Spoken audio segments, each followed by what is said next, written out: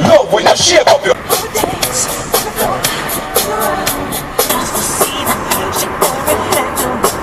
Всем привет! А сегодня мы с друзьями отправляемся на машинах с палатками на побережье Камы на одну ночь. If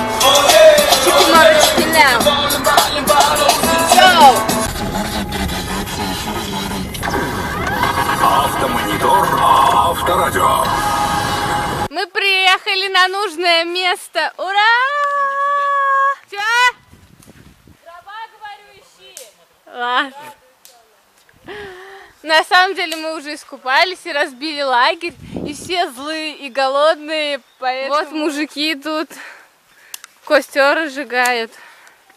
Сжигают, разожгли. Разожгли дрова ищут. Видите, все какие счастливые. Диля тапочку порвала, давайте ее пожалеем. А вот Оля с дровами, да. Да. Работаю больше всех. Первый раз в жизни. Нет. Когда походу... Видите, все какие счастливые, голодные. Офигенский у нас вид. Вот. Наше продолжение нашего лагеря. Вот.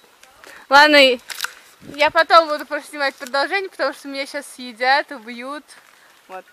Пап, ты будешь бусер пока? А тем временем, пока там готовка всякая происходит, мы пошли с Дилей спрашивать, нет ли тут недалеко источника, чтобы добывать питьевую воду. Вы только посмотрите на этот вид, а. Мы все узнали. Вниз спускаться и вдоль берега метров шестьдесят, и там из камушков течет вода. Я же говорю, что где-то здесь я ходил, брал. Где? Я, кстати, пойду по- Мы пошли добывать воду. Ну а для того, чтобы спуститься и пойти вдоль берега, нам пришлось овладеть базовыми навыками скалолаза, которые продемонстрирует нам сейчас Диля. Ну а вслед за ней, конечно же, полезу я. А спустившись, мы можем наблюдать очень красивую картину. Берег, пляж, можно сказать даже мраморный пляж. Для того, чтобы все-таки дойти до родника, нам придется идти даже по воде. Дили уже отказался от такого приключения. Видимо, мы с дядей Азатом самые смелые, и поэтому мы продолжаем путь.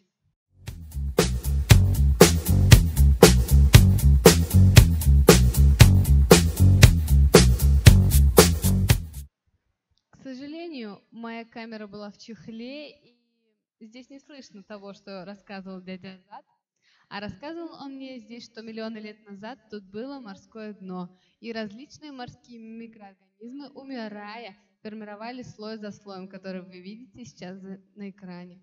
А это кусок мрамора уже более древней окаменелости, соль древнего моря.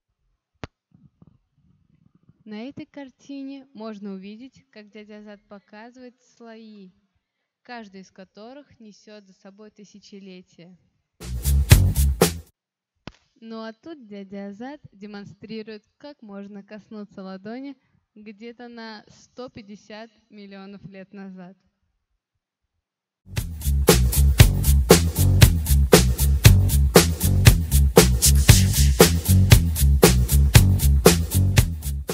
О том, как нам приходилось идти прямо по воде. И это еще не предел.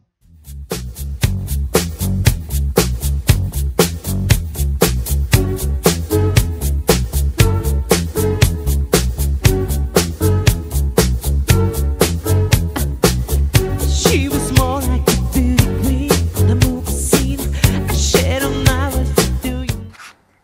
зря мы с дядей Азатом так долго шли, как минимум, даже если воду не найдем, как минимум мы нашли вот такой крутой пляж.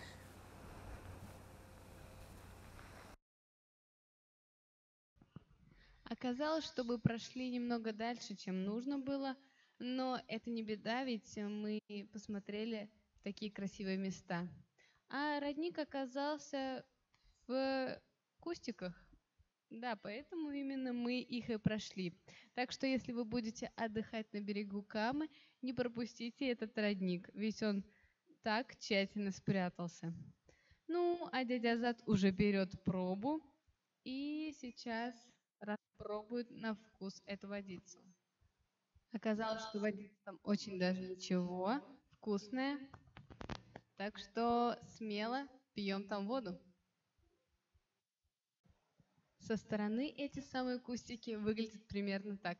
Ну а мы возвращаемся к ребятам. Оля хозяйка, смотри, снимай меня. Да.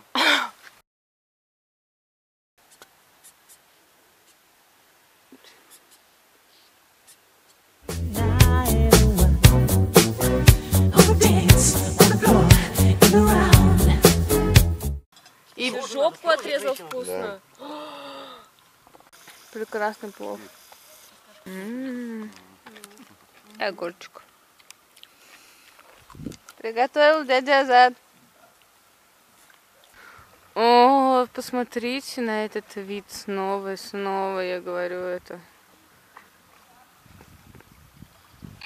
Репортаж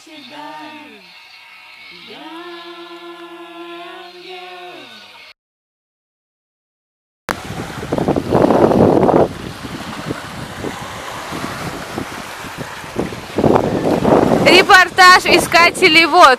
Внимание, Диля Гаврилова. Вот это вот КСБала. Нашла водный источник.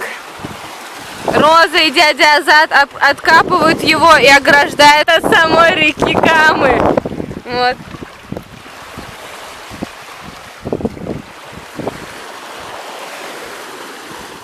Ребята сделали волнорез для родника.